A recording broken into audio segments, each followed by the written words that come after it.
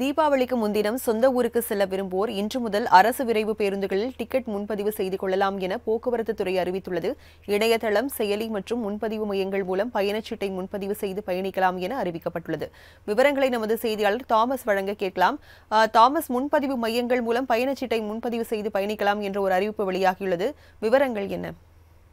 வணக்கம் ராஜலட்சுமி. அதாவது தீபாவளிக்கு முதல் நாளாக இருக்கக்கூடிய இருபத்தி மூன்றாம் தேதி தங்களுடைய சொந்த ஊர்களுக்கு செல்ல விரும்புவோர் அரசு விரைவு பேருந்துகளில் இன்று முதல் டிக்கெட்களை பதிவு செய்து கொள்ளலாம் என்று போக்குவரத்து துறை சார்பில் தகவல் தெரிவிக்கப்பட்டுள்ளது.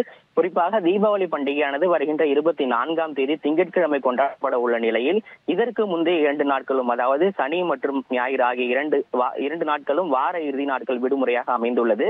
இதன் காரணமாக பல்வேறு மாவட்டங்கள் தங்கி பயிலக்கூடிய மாணவர்கள் அதே போன்று அரசு ஊழியர்கள் உள்ளிட்ட பெரும்பாலானோர் இருபத்தி ஒன்றாம் தேதி இரவே தங்களது ஊருக்கு புறப்பட தொடங்கிவிடுவார்கள்.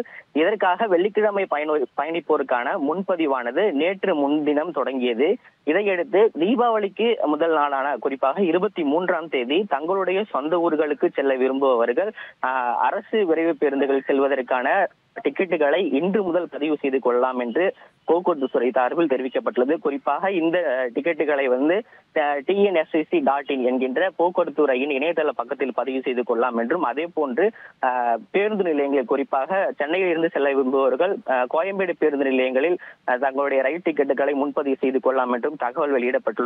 ஏற்கனவே ரயில் டிக்கெட் முன்பதிவு நிறைவடைந்து விட்ட நிலையில் தங்களுடைய சொந்த ஊர்களுக்கு செல்லும் செல்வதற்காக பிரதான தீர்வாக பேருந்துகள் மட்டுமே உள்ளன.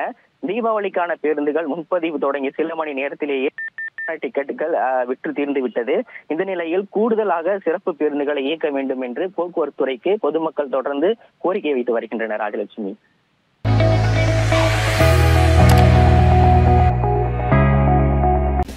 சட்டமன்ற உறுப்பினர்களை விலைக்கு வாங்குவதும் ஆட்சியை கவிழ்ப்பதும் என அனைத்து விதத்திலும் ஜனநாயகத்தை முடக்கும் செயலில் பாஜக ஈடுபட்டு வருவதாக புதுச்சேரி காங்கிரஸ் எம்பி வைத்திலிங்கம் குற்றம் சாட்டியுள்ளார். புதுச்சேரியில் செய்தியாளர்களை சந்தித்த அவர் சட்டப்பேரவையில் சபாநாயகர் நடுநிலை தவறி அரசியல்வாதி போல் செயல்படுவதாகவும் இது மிக மோசமான முன் உதாரணம் என்றும் சாடினார். இது ஒரு பிஜேபியினுடைய ஒரு மோசமான முன் உதாரணம் சொல்லலாம். அந்த பிஜேபி அரசாங்கம் எல்லா விதத்திலேயும் ஜனநாயகத்தை முடக்குவது என்பது தெளிவாக தெரிகிறது. இப்போ பாண்டிச்சேரியினுடைய பிஜேபி ஸ்பீக்கரும் அப்படி தான் இருக்கிறாரு. பாண்டி பஞ்சாப்ல இருக்கிற கவர்னர் பிஜேபி கவர்னரும் அப்படி தான் இருக்கிறாரு. ஆமாம் பிஜேபி கவர்னர் தான். ஏன் வாபஸ் வாங்குறாரு? காரணம் சொல்லணுமில்ல ஒரு வாபஸ் வாங்குறதுக்கு ஒரு சம்மனிங் ஆஃப் த ஹவுஸ் கொடுக்குறாங்க. சம்மன் பண்ணதுக்கப்புறம் வித்ட்ரா க்ளோஷருக்கு வந்து ஸ்பீக்கர் ரிக்வஸ்ட்டில் தான் அவர் மூட முடியும்.